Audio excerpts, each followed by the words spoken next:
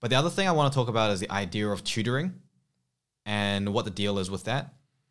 So here's the thing, right? Is that first of all, I have a, a company that is set up that actually provides tutoring services.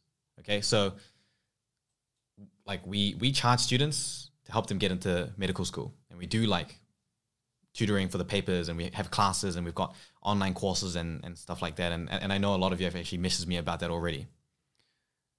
It's not actually necessary, right? So the reason that we have those is because there are people who want it, there are parents who want it, and there are people who just want it as like a safety thing. So really you want to be asking yourself a couple questions there. Does it make a difference in terms of the outcome? Does it make a difference in terms of the process? And ultimately, is that difference worth money? Is, is really the only thing there. So, a lot of students who get the tutoring probably don't need it in terms of does it affect the outcome. Would they have gotten into medical school without it? I would say like 40 to 50% of the time, the answer would actually be yes. So, in terms of the outcome difference, there are students that are more on the fence and they really do need that help to get in. But, you know, is it worth signing over like an $8,000 contract, which there are definitely people that will try to sign you off and stuff like that? Is it worth that? No freaking way. You know, unless your dad is like some oil tycoon and just money to blow. I like, and even then, it's probably just gonna be a waste of time. So, you the the main thing is actually really about the process and how it's gonna make you feel. The main advantage of getting tutoring or any type of help at university, I'm gonna make a different spiel about this when it comes to high school, which is really really different. At a university level, when you're in pre med trying to get into medical school, what you should be thinking about is does it make it less stressful? Does it increase my sense of safety? Does it increase my chances and probability? And is that uh, experience, improvement in the overall experience, is that going to be worth however much I'm, I'm going to be paying for it? And so, for that, when you think of it from that point of view, a lot of students decide that yes, it is actually worth it, regardless of whether it changed the outcome, the fact that it increased my chances, or even if it didn't increase my chances, the fact that it made the process more enjoyable, or the experience just felt more secure and safe. That alone, that's basically what people will end up getting tutoring for. So people buy onto it because they're looking for an outcome, but people stay on it because it provides them a process related benefit. But you shouldn't be thinking that it's required to get into medical school. And that's really important because there's a lot of fear mongering and preying that's done on students because a lot of you guys don't um, know much about the pre-medical you know it's like a really specific thing you know? Like i've been doing this for a really long time which is the only reason i have a deep level of knowledge about it. But most of the most of number one most of the people that are giving you advice career advisors from schools and school counselors like you know other places that will hold seminars and stuff the people that are actually giving that information have only been doing that for like two or three years. They actually don't know what's what. And their agenda is probably more to just convince you to buy whatever they're selling which obviously for you is not in your best interest. So, in order to just be thinking about it independently, I would really just break it down into thinking not about whether it's going to make a difference to the outcome, because you're number one, not going to know that. And number two, there's a decent chance that it wouldn't make a difference to the outcome. So, you shouldn't feel the need or the pressure to get tutoring if you didn't feel like you needed it anyway. But what you, what you should do in high school is make sure that you're not getting tutoring. Okay. So, Think about this. If you get tutoring when you're in high school and you do well, was it because of the tutoring or because you can do well? Most of the time when I'm working with students that are getting tutoring in high school and when we take the tutoring away, they really start suffering. So what happens when they enter into first year university or when they enter into medical school even where tutoring is not even available?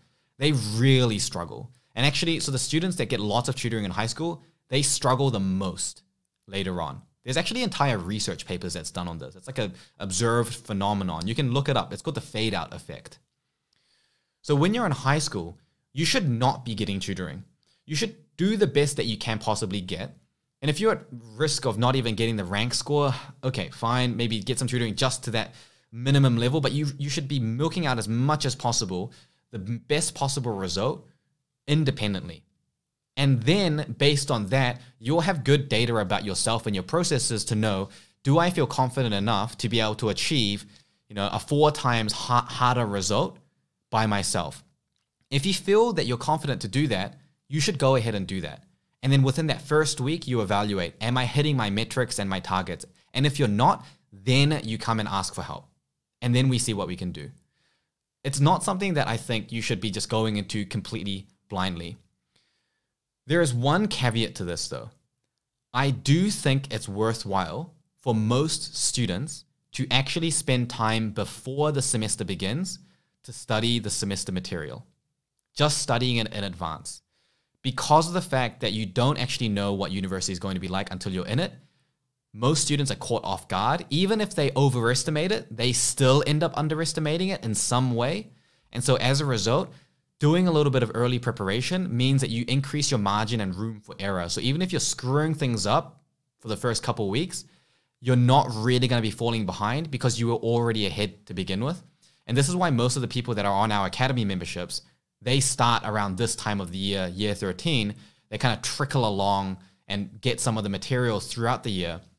And what I actually encourage is finish your year 13 study ASAP so that you finish that year, challenge yourself to do it, see how difficult that feels for you. And that's going to give you information about do you need to improve your study systems and processes? In which case, now you have three, four months of high school time to experiment without risking your medical entry and you can use pre-med first year material as practice for that.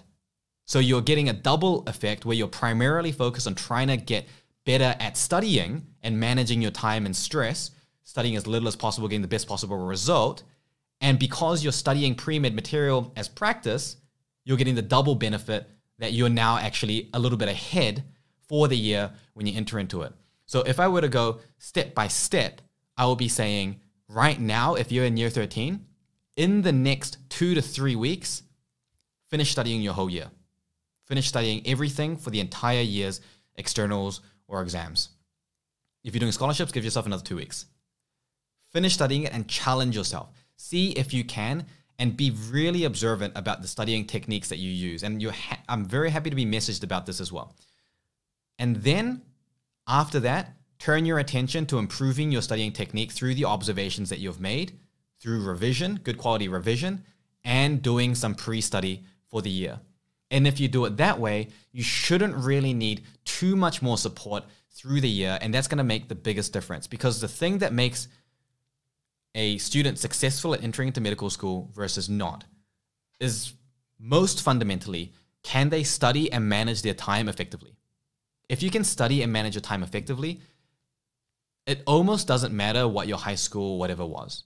There are a lot of students out there who are entering into first year pre med who have already done other degrees or even other careers and they're entering into it. They're like 27, 28, 30, whatever it is.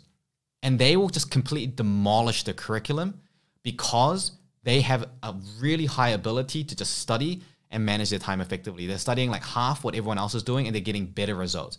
And the thing is that you don't actually have to go through this entire career in order to develop that you could start developing that now. And in fact, that is what we get with a lot of our students is that when you try to set that as a goal, you can actually achieve it. If you just go through high school at high school standard, at high school pace, you finish high school and then you start doing a little bit of prep beforehand, that's also okay. If you don't prep at all and you're into, into university, now you're depending on luck.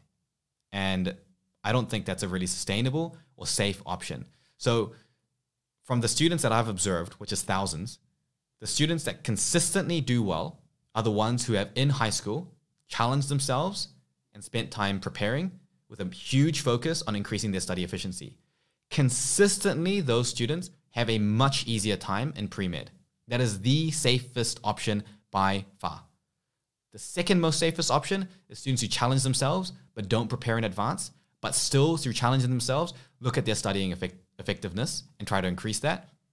And then there's students that just do normal high school pace and do a little bit of preparation. The difference between students who just prepare in advance and students who have spent time in high school learning how to study more effectively is massive. There is a very big difference between those two types of people. It's to the point where doing a little bit of preparation before the semester without having done that in high school, in some ways, almost doesn't really make a big difference because at some point you're always going to fall behind because your studying effectiveness wasn't there to keep pushing you forward. So whatever head start you had just comes grinding to a halt. And when it does grind to a halt, you're left unable to keep pushing that momentum forward. That's what I that's what I see every single year. Anyway, let's have a look at the uh, comments. Any questions on anything that I've said? Leave them down here. I'm covering a lot of kind of big meaty topics um, pretty quickly, so